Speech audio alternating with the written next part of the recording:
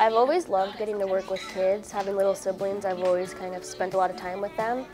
My mom, she's a first grade teacher, so I've always kind of grown up seeing her um, impact kids' lives so positively, so it's made me just really kind of want to follow in her footsteps and do the same thing. Just seeing myself grow as a person, a leader, I definitely have seen myself change and just how I work with them, and it's super amazing to just see them grow as well as myself.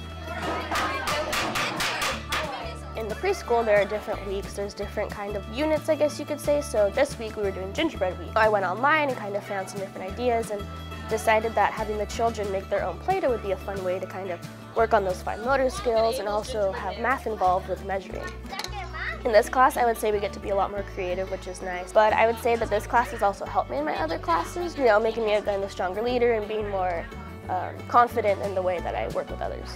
He said daddy with a mustache.